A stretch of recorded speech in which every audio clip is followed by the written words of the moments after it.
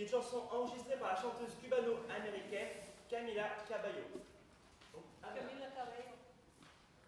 J'espère. Oui. Voilà. Avec l'accent. bah, faut que je travaille avec mes accents.